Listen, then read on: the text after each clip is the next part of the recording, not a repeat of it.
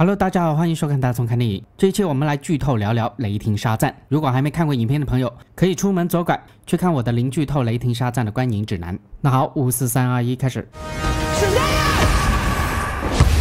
聊超英电影怎么能不说彩蛋？不过片中弗莱迪在每个场景中换一套超级英雄 T 恤的小彩蛋，大家就慢慢去享受其中的乐趣吧，在此就不作为讨论范围了。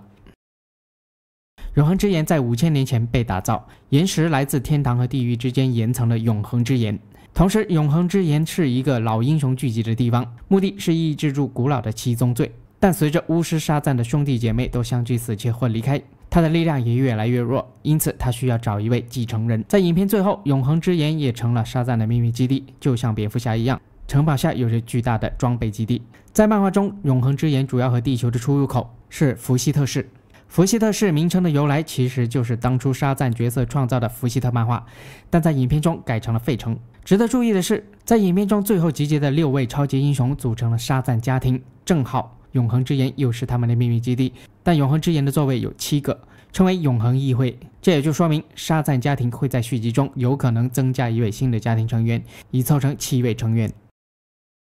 沙赞家庭在影片中一共有六位，除了沙赞，其他五位都简单介绍了他们的超能力。除了这些成员，在漫画中，沙赞最后在动物园还相中了一只老虎，作为魔法的守护者。所以永恒之石的七个宝座可能就由他们坐上了，也正好对应了七宗罪的七个恶灵。或许因为影片预算的成本有限，老虎作为超级英雄需要很多特效，于是把第七名沙赞家庭的成员延后到了续集上。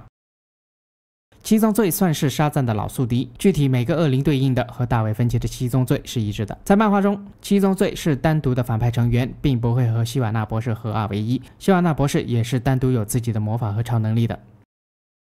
希瓦纳博士在影片里如果没有七宗罪的帮助，就只是一位普通的光头大叔。这位大叔在小时候被巫师沙赞选中。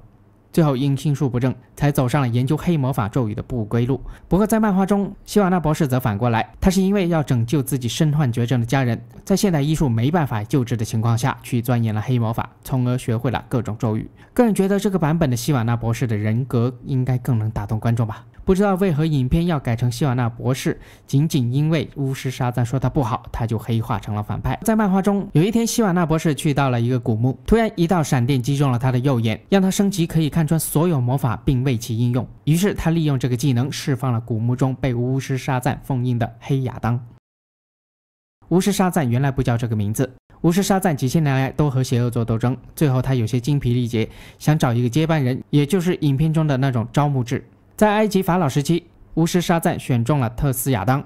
后来特斯亚当黑化，拿着拥有沙赞的能力，到处祸害人类，改名为黑亚当。黑亚当同时也是沙赞最强的敌人。后来巫师沙赞把黑亚当封印，但他的力量越来越弱，必须继续找继承人。于是他找到了比利。早在2017年，巨石强森就成了黑亚当的扮演者。原本我还以为根据漫画的人物设定能看到黑亚当的出场，不过这应该要等到沙赞续集以后了。甚至在 DC 扩展宇宙的计划进程中，黑亚当的独立电影也在其中，而且编剧、导演都已经选好了。影片的最后，超人来客串了一下，但因为目前 DC 扩展宇宙的演员有些分崩离析，就目前为止，超人和蝙蝠侠的人选最终都没能确定是谁来出演，所以影片用了一个讨巧的办法，让超人不露脸，只秀出超人服。第一个彩蛋是希瓦纳博士在监狱写着黑魔法咒语，然后一条毛毛虫进来和他对话。他是明斯满 （Mr. Mind），DC 漫画的超级反派，来自金星，拥有很高的智慧，并可以控制别人的大脑，也是沙赞的老对手。新五十二中，明斯满和希瓦纳博士还有黑亚当联手对抗沙赞。在漫画中，明斯满也是诱惑希瓦纳学习黑魔法的声音。明斯满还组建过怪物邪恶协会，召集了 DC 旗下的众多反派。其中就包括希瓦纳博士和黑亚当。在影片中，明斯满在开头有给过特写，这其实也暗示着希瓦纳在孩童时期进入永恒之岩时是被明斯满用魔法安排的，并非巫师沙赞在选人时咒语出了问题。明斯满的出现，续集估计会联合希瓦纳博士和黑亚当一起来对抗沙赞。这纯属是一条娱乐彩蛋。弗莱迪在测试开发沙赞的新技能，看看沙赞能不能和鱼对话，但这个技能。还是留给海王比较好。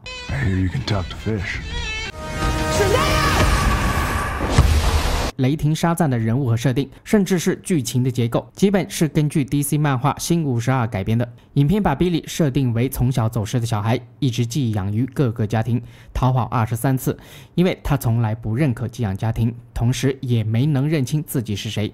他一直想找到自己的亲生母亲，回到属于自己的家。成长变成了 Billy 内部的冲突，变身沙赞则成了外部冲突，两者并行，塑造了 Billy 从男孩变成男人的蜕变。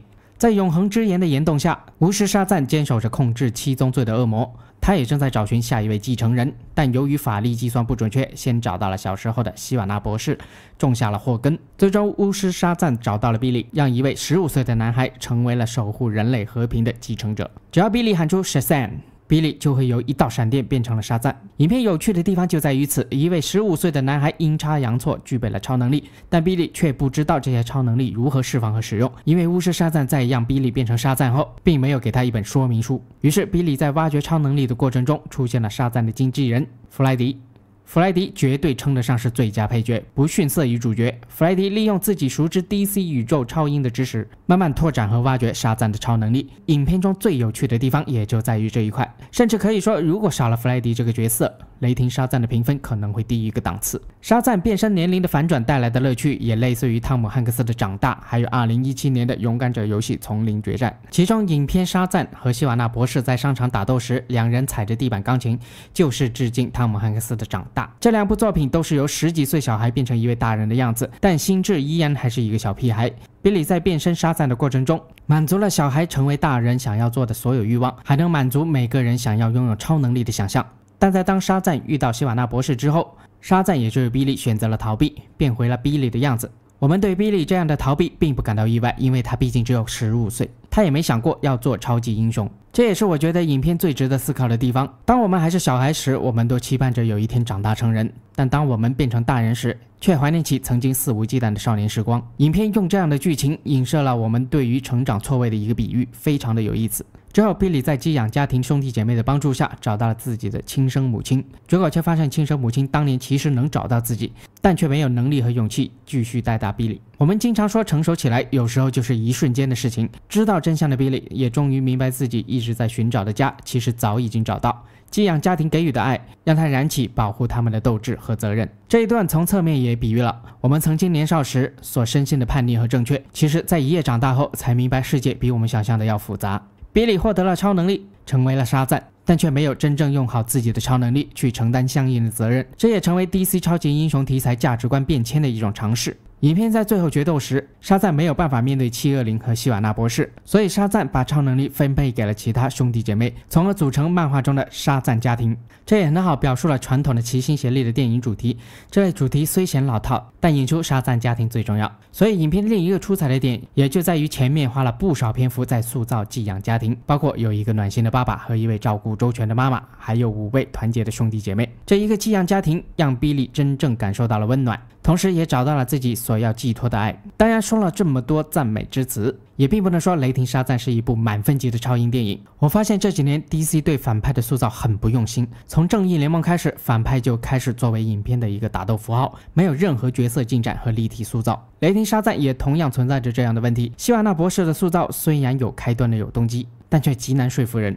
不过好在影片的中心没放在大事件冲突拯救世界上，而是放在了沙赞成长上。但是不知道 DC 宇宙是不是对暗黑风格给搞怕了？这一次的雷霆沙赞风格的转变，让人觉得，起码让我觉得，雷霆沙赞其实不用把观影门槛，或者说把观影年龄层下调到这么低。这一点在反派希瓦纳博士的塑造上就能说明很多问题。影片的底子其实想要呈现希瓦纳博士悲惨的人生背景，但最后影片要更靠向大众，更娱乐化。